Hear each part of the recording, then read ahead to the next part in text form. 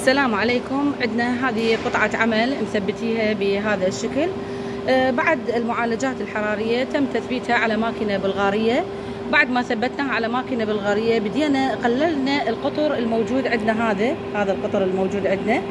وبعدين ثبتناها لأن ذيك العينة كانت أكبر هسه ثبتناها على عينة أصغر كما موضح بهذا الشكل.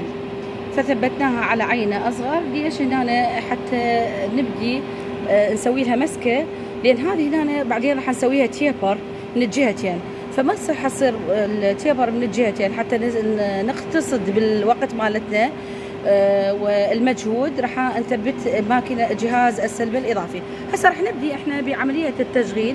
هذا الجهاز السلب الإضافي راح نثبته هنا شوفوا هذا مكانه. هنا هذه. وهذه الزاوية مالته اللي راح نثبته. إحنا هنا طبعا القطر يعني ما ذكرته القطر كان آه، أربع إنجات حنسوي سويناه إنجين.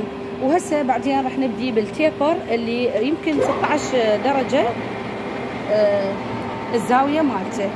يعني هذا راح نسويه على ال 16 هنا عملية التجرير راح تتم بهذا الشكل.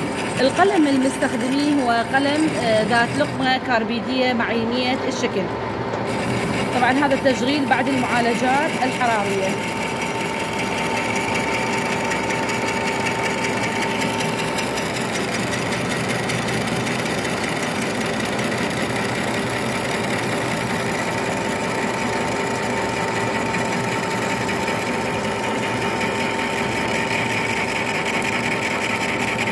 شاء الله بالفيديو الثاني راح أبدي أشرح عن السلب الإضافي وشلون أثبت القطعه مالتنا وأبدي أشتغل. وشكرا.